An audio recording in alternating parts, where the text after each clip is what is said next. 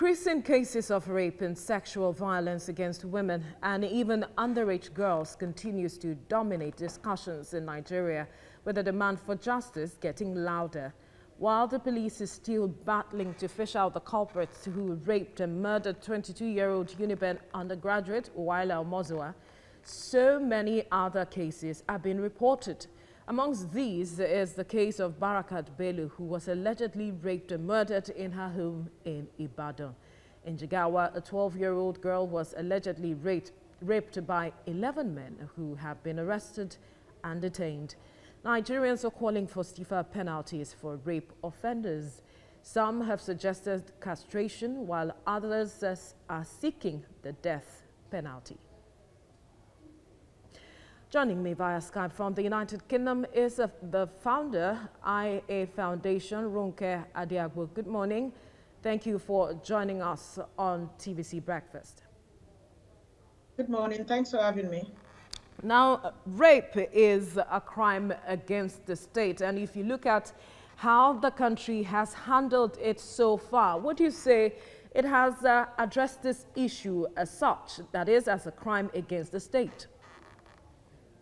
Right. Um, my heart goes out to families that have lost their girl child to rape, and I pray that the Lord will console them. Um, however, um, this is really like a pandemic in a pandemic, actually, um, because rape has been going on for quite a long time. It's just that it's become very prevalent now. And my suspicion is that it's really down to the pandemic because many people have been in lockdown for such a long time and it's creating mental health challenges. And as you know, the hotels are closed and some people have lost their job. So it's making them gravitate towards harassing people and committing lots of sexual crime. Now, what I think the state needs to do, I mean, it's quite commend commendable what has been done so far. And actually, the National House of Assembly actually are looking at reviewing the laws and making it more stiffer. So that's a welcome development. However, what I think we also need to do more is to actually invest in our police force to make sure they can understand and be more sympathetic to rape victims because it's not easy to come forward when you've been raped. So we need them to be more specialized in the way they deal with women when they are reporting rape incidents. That, on the one hand, is one issue, but let's look at uh, the offenders now. Uh, you have said that uh, perhaps uh, as a result of the lockdown, a lot of persons are becoming aggressive.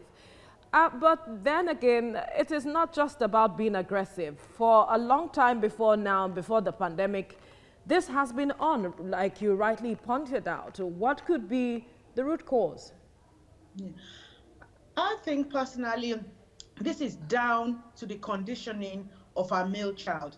I think most parents spend a lot of time training their girl child and they tend to forget or the, the male child goes on the back burner. I think we need to incorporate, eh, incorporate in our male child that you need to treat women with decency. You need to treat women as a revered human being just like you. You have no rights to actually intrude on people's privacy without their permission and without their consent. We need to imbibe this conditioning into our young young boys as they are growing up.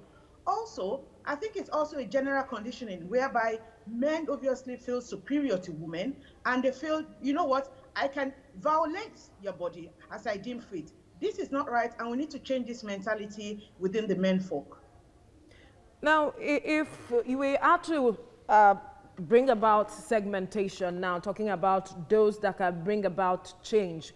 Uh, there, it begins, some say it begins from the home, others say perhaps opinion leaders, uh, such as religious uh, leaders, could also influence persons who are prone to carrying out this act. Talk to us about the responsibilities of each of these groups to addressing this issue.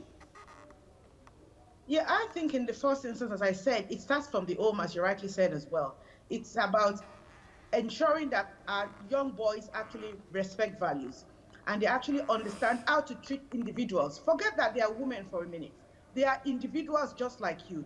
The way no one will allow anyone would like anyone to assault them, they shouldn't think they have the right to assault other people.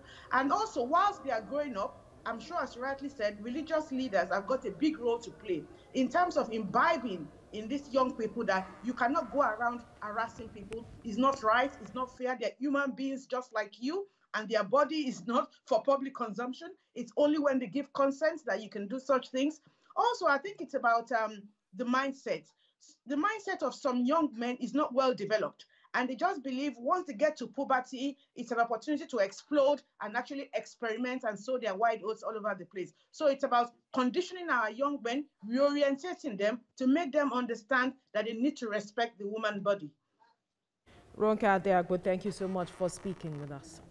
Of rape and sexual violence against women and even underage girls continues to dominate discussions in Nigeria with the demand for justice getting louder.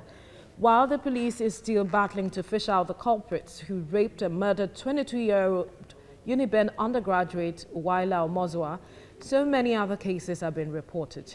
Amongst these are the case of Barakat Bello, who was allegedly raped and murdered in her home in Ibadan. In Jigawa, a 12-year-old girl was allegedly raped by 11 men who have been arrested and detained. Nigerians are calling for stiffer penalties for rape offenders. Some have suggested castration, while others are seeking the death penalty. Joining me via Skype from the United Kingdom is uh, founder IA Foundation, Ronke Adeagbo. Thank you for joining us on TVC Breakfast. Well, there's been uh, so much call for justice and uh, a lot of persons are calling for a castration as perhaps a measure that will stem the tide of uh, rape. And others are saying a declaration of a state of emergency is what is needed. I wonder what you make of this. Is that the way to go? Right, that's a very interesting one because um, at the moment, I understand the penalty, the highest penalty you can get for rape is life imprisonment. Now, this does not solve the problem because the fact that you lock them away does not solve the problem because they could even harass people within their, their cells. Now, I think these men, they need help uh, because they find it very difficult to restrain themselves. Therefore, if they find it difficult to restrain themselves, these sort of men need to go to rehab, like we have people go to rehab for drug issue. Clearly, these guys have got sex, uh, sex challenges, and they need to go to rehab to develop themselves. But how also, do you help someone who does not accept that he needs help?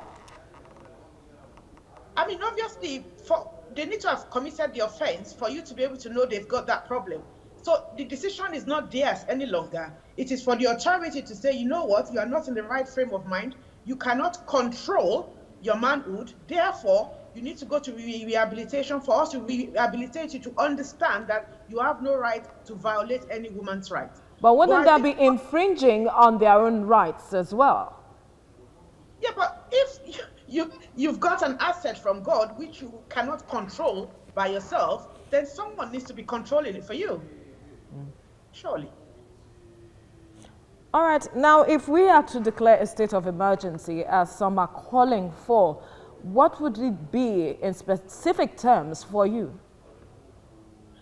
Um, I would say, um, I wouldn't say we, have gotten to that stage yet. I think mm. we need to have some procedural issues which we need to address before we can get, because that I think is the actually end of the scale. I think in terms of safeguarding our children, I know in Nigeria we've got the sex register like, like we have in the UK, but mm -hmm. how many employers check the sex register before employing people? Right? How many organizations make sure the people they are employing are actually the people they are actually employing? Because people do impersonate themselves, people impersonate people. Secondly, what would also be useful for the government of the day to introduce is hopefully if, um, uh, as I said, um, life imprisonment is actually a good deterrent, but maybe ultimately castration might be the solution to the problem because as you know, castration is an upgrade of vasectomy. So hopefully once the instrument is not there, maybe they might not be able to commit the crime any longer, but they might still be alive, which actually is a benefit for them. They're not um, actually locked up for the rest of their lives. There are also concerns about the fact that some states are yet to domesticate the Child Rights Act. About 11 states are yet to do that. And now the question is, how do you ensure state actors take the right step to address this?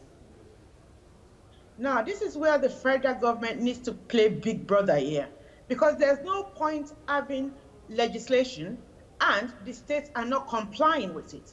The government needs, the, the central government needs to come down hard on state governments who are not implementing this legislation to protect the children. Because we need to safeguard these kids because they cannot safeguard themselves. And it will be irresponsible of any state government not to implement this legislation. Now, children are meant to be going back to school very soon. An average parent in Nigeria will be scared of sending their girl child to school now because they, they feel they'll be vulnerable to sexual attacks. We cannot afford to keep our girl's child at home because we've got some people on the street that cannot control themselves. So therefore, the government, the state government, have no choice than to make sure they implement this and not just implement, they actually police it and make sure it's actually happening. Ronke Adeogbu, thank you for speaking with us.